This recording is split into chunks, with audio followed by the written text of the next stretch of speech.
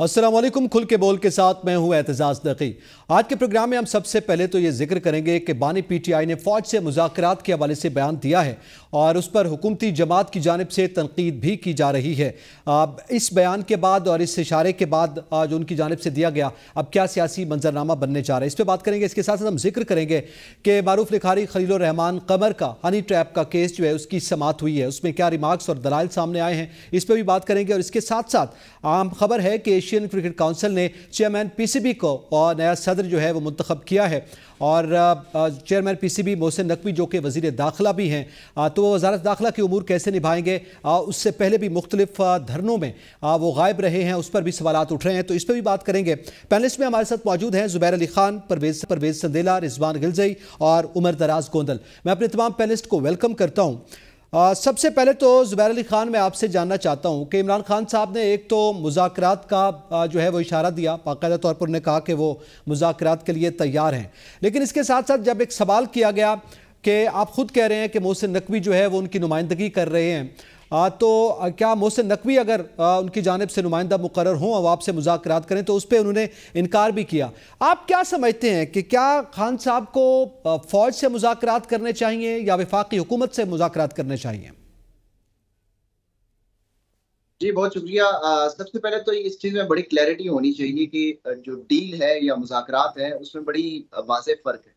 اگر کسی قسم کی ڈیل ہوتی ہے تو اس کا اس طرح سے اعلان جو ہے وہ اعتراف نہیں کیا جاتا یا دعوت نہیں دی جاتی مذاکرات کی۔ اور دیکھیں، جب بھی کوئی بھی معاملہ کہیں پر بھی آ کر پھنستا ہے تو آخری حل جو ہے وہ ٹیبل ٹاکس ہی ہے۔ جہاں تک بات رہی ہے کہ فوج سے مذاکرات ہوں، سیاسی جماعتوں سے مذاکرات ہوں، اس میں تو کوئی شک نہیں ہے کہ مذاکرات ہر کسی کے ساتھ ہونے چاہیے۔ اور چاہے وہ سیاسی جماعتیں ہوں، ان کے ساتھ بھی مذاکرات ہونے چاہیے۔ فوج کی بات کریں تو ان کے ساتھ بھی مذاکرات ہونی چاہیے۔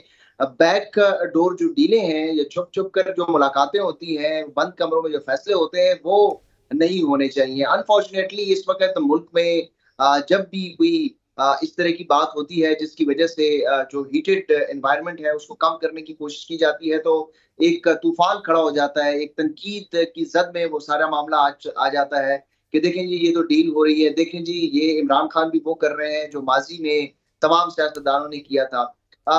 باقی سارے جو جماعتیں ہیں، سیاسی جماعتیں ہیں، وہ ایک دوسرے کو یہ ثابت کرنے کی کوشش کر رہے ہوتے ہیں کہ دیکھیں ہم نے اگر جوتے پالش کیے ہیں تو یہ بھی جوتے پالش کر کے واپس اقتدار میں آ رہے ہیں۔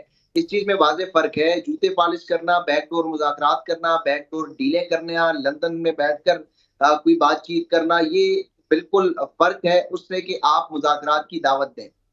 جس طریقے سے حکومت بھی اکثر عمران خان کہتی ہے کہ آپ ہمارے ساتھ مذاکرات کریں، کوئی بھی اپوزیشن جب دو فریق ہوتے ہیں تو وہ ایک دوسرے کو مذاکرات کی دعوت تو دیتے ہیں۔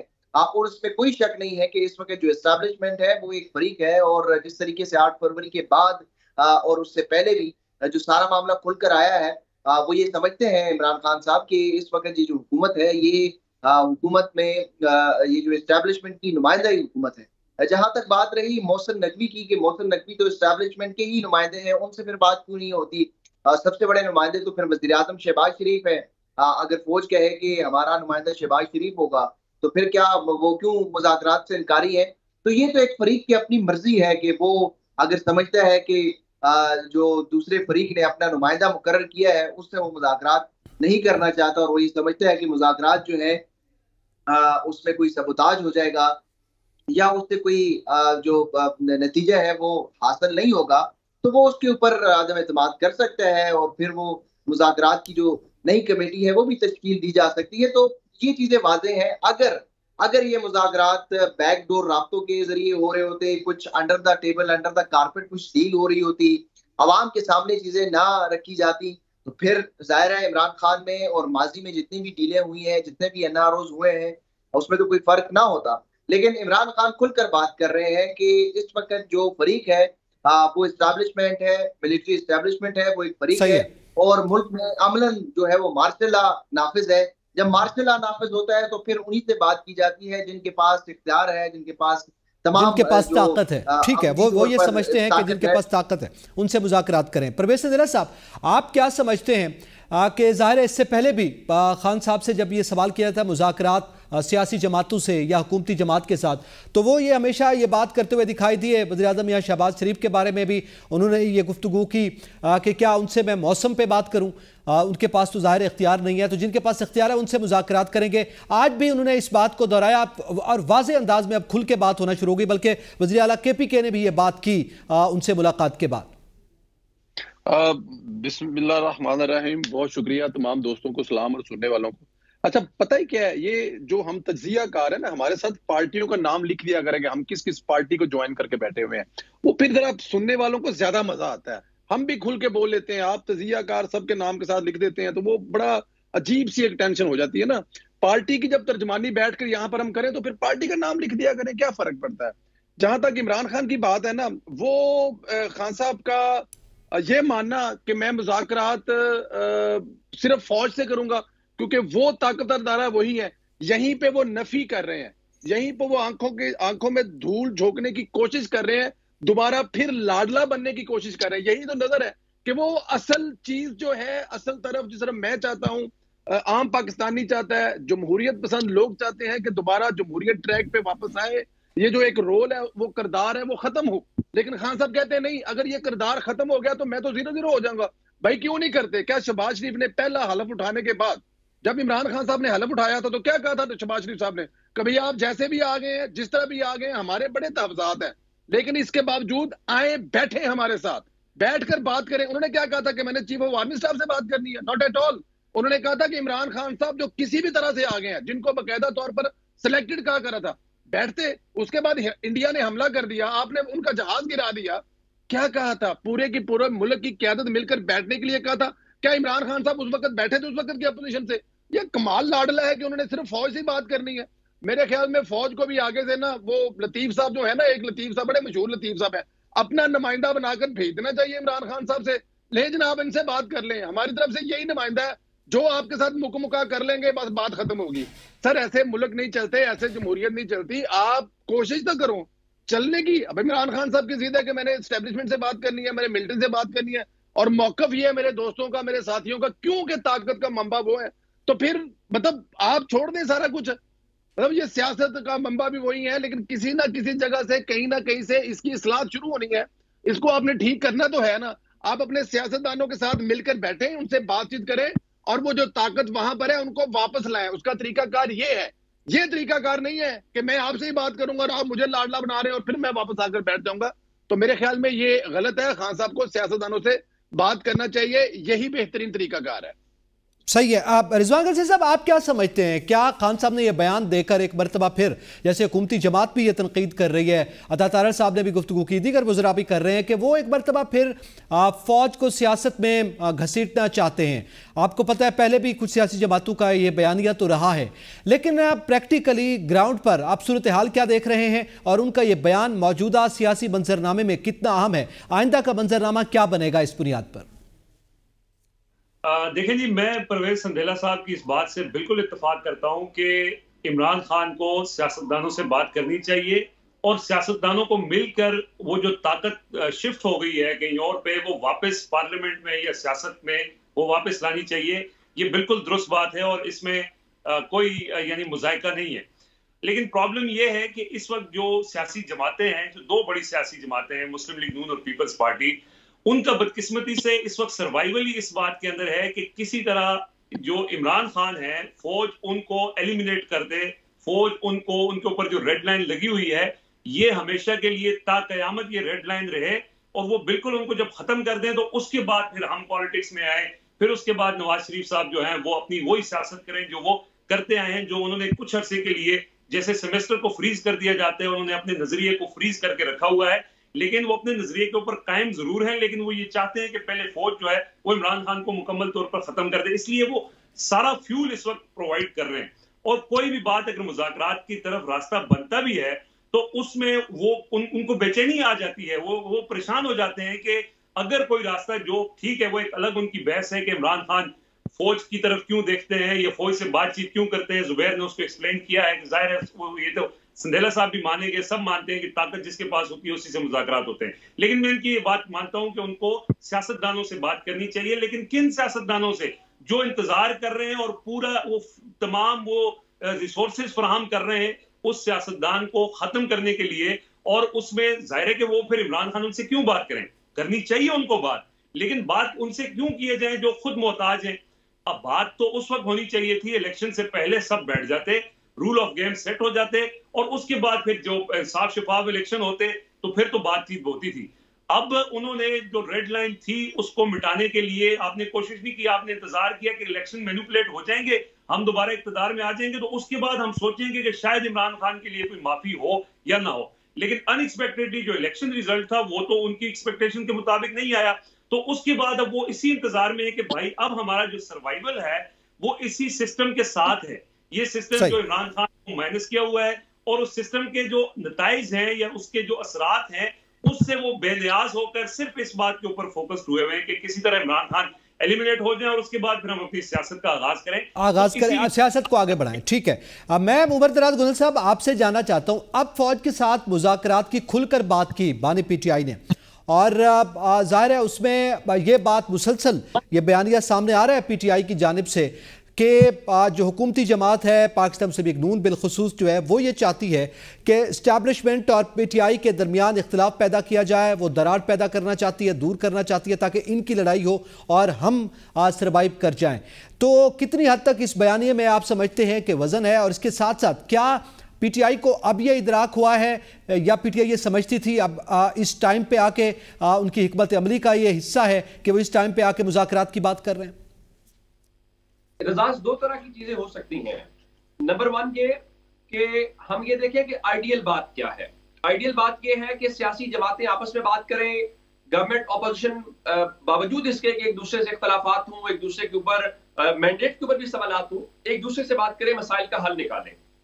لیکن جس معاشرے میں ہم رہ رہے ہیں، آپ کو لگتا ہے کہ یہاں پہ پولیٹیکلی ایکٹیویٹی جو ہوتی ہے، جو پارلیمنٹ آتی ہے، جو حکومت بنتی ہے، وہ آرگینک طریقے سے آتی ہے۔ تو اس سوال کا جواب ہے نہیں۔ اور کیا عمران خان یہ تحریک انصاف یہ کہہ رہی ہے کہ ہم فوج کے ساتھ ہی مذاکرات کریں گے، ہم حکومت کے ساتھ مذاکرات نہیں کریں گے، کیا ان کے ساتھ موسم کی باتیں کریں؟ تو اس میں کیا مختلف بات وہ کر رہے ہیں؟ آپ کو نہیں یاد؟ ابھی کل کی تو بات تو ہے۔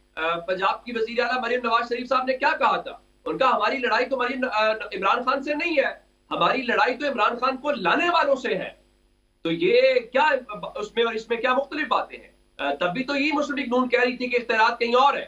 اور آج تحریک انصاف بھی تو یہی کہہ رہی ہے اختیارات کہیں اور ہے۔ دیکھیں اقتدار اور چیز ہے اتھارٹی اور چیز ہے۔ جہاں اتھارٹی ہے، اصل اقتدار وہی ہے۔ ظاہراً یہ کوئی بھی گورنمنٹ پاکستان کے اندر ہو، آپ کو پتا چلے مجھے یہ بتائیے کہ جو موجودہ حکومت ہے دو طرح کی چیزیں، تین طرح کی ہوتی ہیں، جس میں ہم ایک دیکھتے ہیں کہ فورن آفس امپورٹنٹ ہوتا ہے جو انٹیریئر منسٹری ہے، وہ امپورٹنٹ ہوتی ہے۔ یا پھر خزانہ کے معاملات تین امپورٹنٹ ہوتے ہیں۔ مجھے بتائیے کہ فورن پالیسی کہاں ڈیسائیڈ ہو رہی ہے؟ یہ گورنمنٹ ڈیسائیڈ کر رہی ہے۔ چلیں، اختیار کا پہلا پیمانہ۔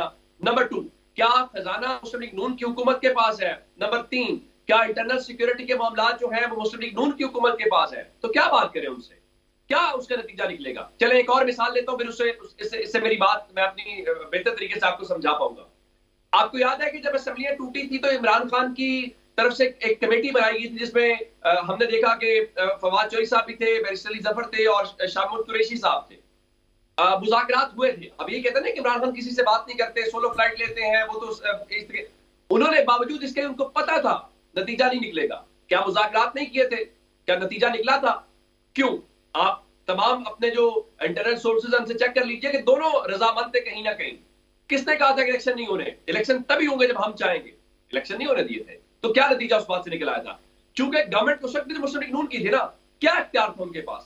تو میرے خیال سے ریئلسٹک بات یہی ہے اور سچی بات تو یہ ہے یہاں پہ میں جملہ اور کہنا چاہتا ہوں۔ تحریک انصاف کو نہیں، تمام سیاسی جماعتوں کو کہنا چاہیے کہ ہمیں وہاں مذاکرات کرنے ہیں۔ صحیح۔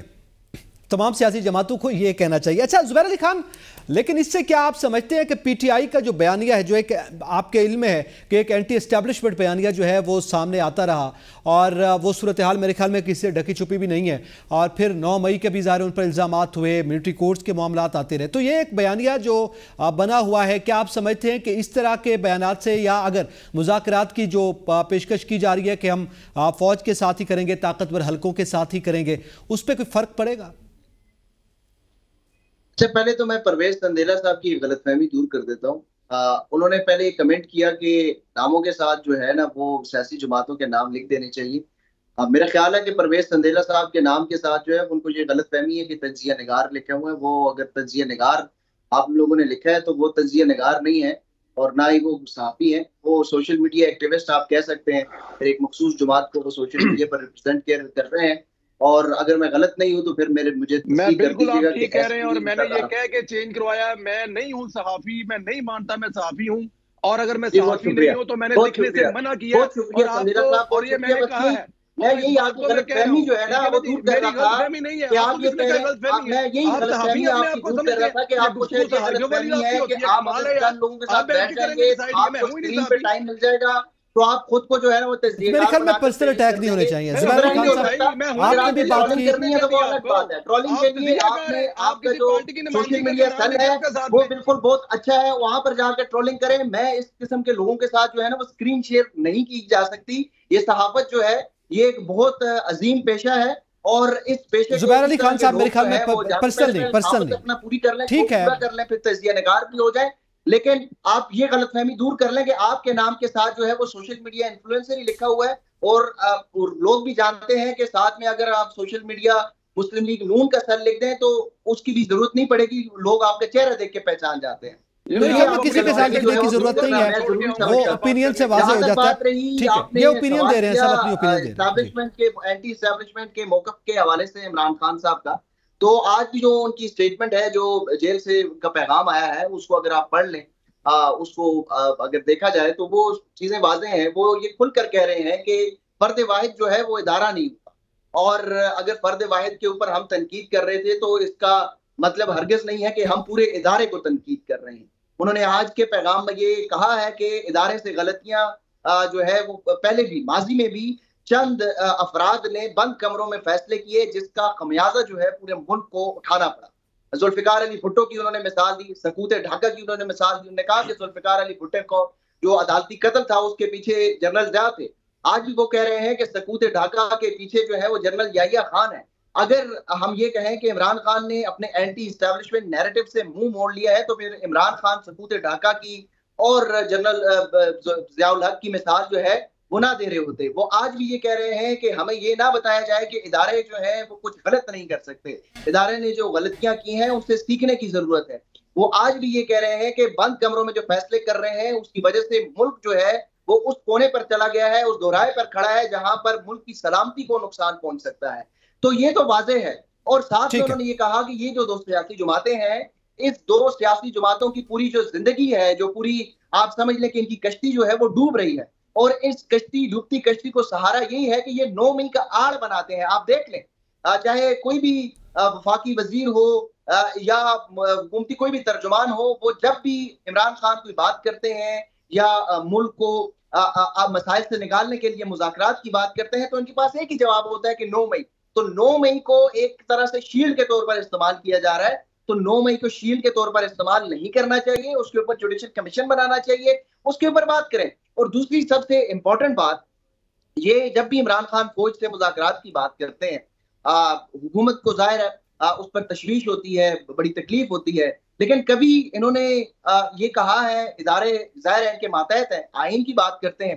آئین میں تو جو فوج ہے وہ ادارہ وزارت دفاع کے ماتحت ہے۔ کبھی انہوں نے جو وزیر دفاع ہے انہوں نے کہا ہے کہ اس جو سیاسی گفتگو کی جاتی ہے پریس کانفرنسز میں اس کے اوپر کبھی بھی وزیر دفاع نے کوئی رد عمل دیا ہے۔ جب انہوں نے یہ کہا کہ آپ پہلے معافی مانگے پھر دیکھا جائے گا تو اس پر وزیر دفاع ظاہر یہ آئین کی بات کرتے ہیں۔ تو پھر آئین کے مطابق وزیر دفاع کا رد عمل آنا چاہیے۔ وزیر دفاع کو شٹ اپ کال دینی چاہیے کہ آپ کس طریقے سے معافی کا مطالبہ کر سکتے ہیں۔ ٹھیک ہے جو اختیار کا منبع ہے جو طاقت کا سرچشمہ ہے اس جانب جو ہے وہ بات کر رہے ہیں۔ ٹھیک ہے۔ جو ہے اس طرف جی۔ مسلم لیگ نون بھی نہیں دیکھتی اس طرف بات بھی نہیں کر سکتے کیونکہ یہ ہمیشہ ان کے کندھوں پر سوار ہو کر اقتدار میں آئے ہیں۔ یہ عمران خان کے اوپر تنقید کرتے ہیں کہ جی آپ فوج کو گھسیٹ رہے ہیں۔ جب دوسری طرف سے خود سیاسی گفتگو ہوتی ہے، وہاں پر تو وزیر دفاع خاموش ہوتے ہیں۔ آئین کو دیکھا جائے، قانون کو دیکھا جائے تو وزیر دفاع کے ماتحت جو وزارت ہے، جو ادارہ ہے وہ شٹ اپ کال دیں وہ کہیں کہ بھئی آپ کس طریقے سے سیاسی گفتگو ٹھیک ہے بے اختیار گورنمنٹ ہے اس وجہ سے یہ بات کی جا رہی ہے اور ان کا جو بیانیہ وہ ڈسٹرب نہیں ہوگا۔ میں پرویز سندرہ صاحب آپ سے جاننا چاہتا ہوں اچھا ایک اور صورتحال بھی ہمیں اس وقت دیکھنے میں مل رہی ہے۔ سابق گورنر ہیں عمر سرفراز چیمہ صاحب ان کو ڈاکٹر نے کندھے کا آپریشن لکھ کے دیا مگر اس کی اجازت نہیں دی جا رہی۔ یاسمین راشد کے ساتھ بھی ایسا ہوا۔ لیکن ہم نے ماضی میں دیکھا کہ جب بڑے میاں صاحب کو مسئلہ تھا انہوں نے باہر جا کر علاج کروانا تھا تو اس وقت عدالتوں نے ان کو ریلیف دیا اور حکومت نے ان کو جانے کی اجازت دی۔ اس سے نام بھی بھی نکالا گیا اور باقیدہ طور پر انتظامات بھی کیے گئے۔ تو آپ کیا سمجھتے ہیں انسانی بنیادوں پر یہ نہیں دیکھا جانا چاہیے؟ بالکل ٹھیک ہے، دیکھا جانا چاہیے پہلے تو میں ذرا اپنے بھائی کو ذرا بتا دوں کہ صحافی جو ہے نا، وہ آپ اپنے نام کے ساتھ ضرور لکھیں۔ اور جہانوی بھی چاہیے، لیکن میں آپ کو ایک بات بتا دوں۔ اب یہاں پہ سارے صحافیوں کے لیے تو یہ نہیں ہے، لیکن یہ ان یوٹیوبر صحافیوں کے لیے جو اپنے آپ کو صحافی کہتے ہیں اور صحافیوں کے روپ میں وہ کام اور کر رہے ہوتے ہیں۔